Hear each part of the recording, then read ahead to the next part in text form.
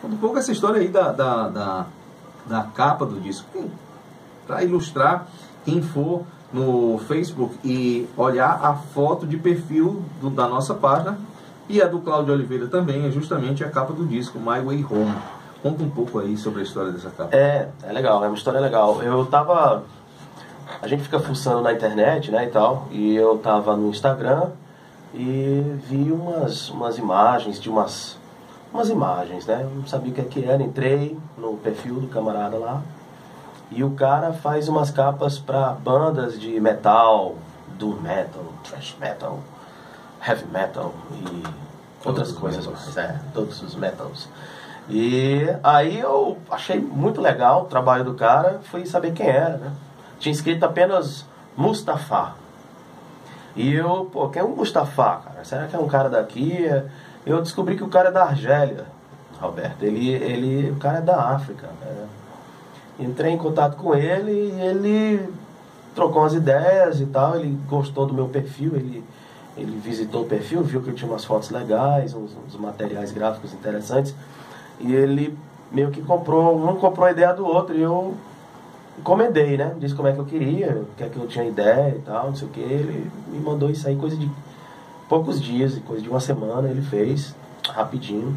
Ele não é o ele é o cara que ele, ele é um cara que ele manipula a imagem, né?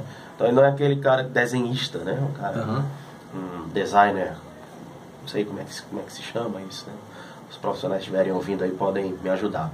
Mas, enfim, ele manipulou, né, fez aqui essa, umas, uh, conseguiu uns efeitos que eu precisava para ilustrar as ideias que eu tinha e a capa ficou muito legal. Então, assim, eu, foi uma coisa bacana. Assim. E não foi caro não, bicho. Entendeu? Beleza.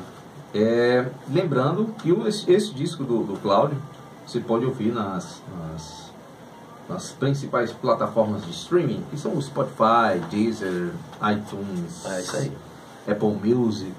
É, Play Napster. Store, Napster. é, é, Napster. Pode, voltou o Napster, voltou, né? Voltou, voltou é o streaming. Totalmente pago, né, agora, né? É, é como, é, é como, como o, o, o, Spotify. Como é que você tá vendo essa, essa, essa questão de distribuição de, de, de música ah, hoje em dia? Pelos streaming. É, admirável você, você, novo. você que a, assim a moda antiga você ainda imprimiu umas cópias do CD.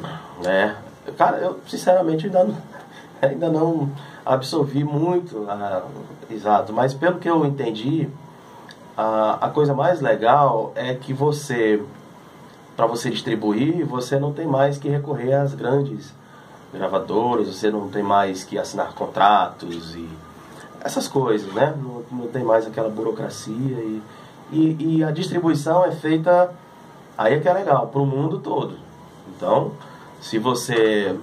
É óbvio que se você quiser falar para mais de um país, é ideal falar inglês ou, ou espanhol, o que seja, né? Ou português também, lógico. Português vai tocar em Portugal, nos países de língua né, portuguesa e tudo mais. Mas é legal, eu, foi, foi a coisa que mais me chamou a atenção de cara, foi essa possibilidade de tocar fora também.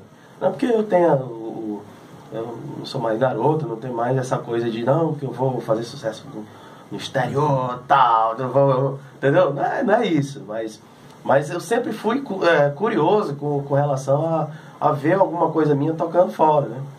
Aí, e você tem o controle, porque depois você começa a receber os dados, e aí você começa a ver sua música tocando em Estocolmo. É, Vietnã. É Vietnã. Eu estava falando agora no intervalo com o Roberto e, e tem uma música que está tocando no, no Vietnã né, na Turquia. Isso é um mal barato, né, cara, da coisa. Isso é legal.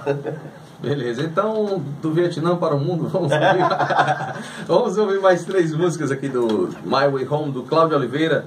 E a gente manda um abraço para o ouvinte que está ligado no Encontro com Blues, Gabriel Dantas, ouvindo, curtindo o Encontro com Blues, participando por meio do Facebook.